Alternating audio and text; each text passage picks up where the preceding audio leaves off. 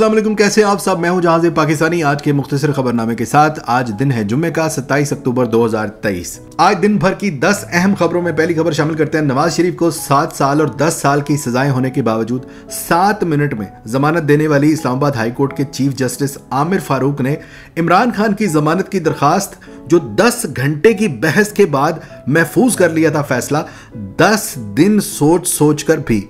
आज मुस्तरद कर दी। कौम से माफ़ी मांगते हैं कि हमने पीडीएम में शमूलियत अख्तियार की। बहुत बड़ी गलती होगी ये खुर्शीद शाह साहब फरमा रहे हैं पीपल्स पार्टी के साई, अब पछतावे क्या होवत जब चिड़ियाँ चुग गई खेत?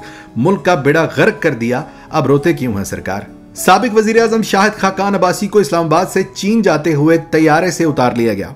इमिग्रेशन वालों ने उनका नाम स्टॉप लिस्ट में होने की वजह से रोका।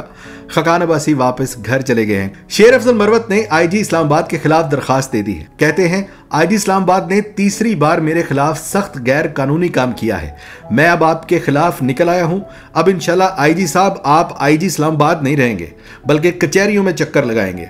और आपसे मैं बदला पूरा करूँगा। इमरान खान की बहन अलीमा खान से सहाफी ने पूछा कि इमरान खान जेल में है तो पार्टी की लीडरशिप किसके पास है? अलीमा खान ने जवाब दिया कि पीटीआई एक ऑर्गेनाइजेशन है और इसका एक ही लीडर है, इमरान खान। चाहे वो जेल के अंदर हो या बाहर, लीडर वही है। तरीके इंसाफ सेंटर पंजाब के ज़रिए इहतमाम आज प्रेस कॉन्फ्रेंस की जानी थी, लेकिन उससे पहले ही पुलिस ने तहरीक इंसाफ का दफ्तर सील कर दिया और इसके अलावा पुलिस नामालूम अफराद ने कैदियों की वैन्स के हमरा दफ्तर का घेराव कर लिया। इससे कबल तहरीक इंसाफ को डीसी हाई कोर्ट से इजाजतनामे के बावजूद लाहौर में कॉर्नर मीटिंग की इजाज़त भी नहीं दी गई और अब प्रेस कॉन्फ्रेंस तक करने का हक भी छीना जा रहा है। नवाज़ शरीफ की एक और ख्वाहिश की तकमील सुप्रीम जुडिशियल काउंसिल की जानब से जस्टिस मुजाहिर अली अकबर नकवी साहब को शोकज नोटिस जारी कर दिया गया। बादशाह सलामत का हुक्म है कि जो जज नहीं बिकता उसको खड्डे लाइन लगा दिया जाए। मुख्तलिफ़ निजी बैंकों ने ऐलान किया है कि पिछहत्तर रुपए का नोट कानूनी हैसियत रखता है, यानी गवर्नमेंट के टेंडर पे बना था, और आम करेंसी की तरह ही काबिल कबूल है। लिहाजा,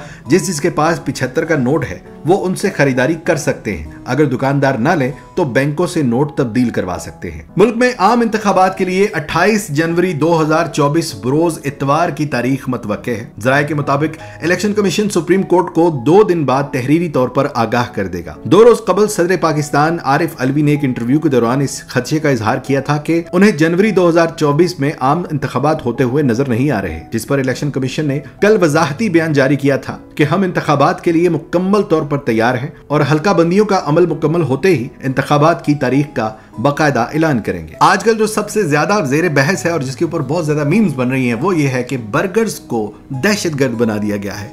मुल्क की अस्सी फ़ीसद आबादी जो पाकिस्तान तहरीक इंसाफ को सपोर्ट करती है, उन्हें कहा जा रहा है कि ये आतंकवादी, ये शाका हैं। तो अब वो शाका और दिल जले और इस तरह की मीम्स चल रही हैं, नाजरीन।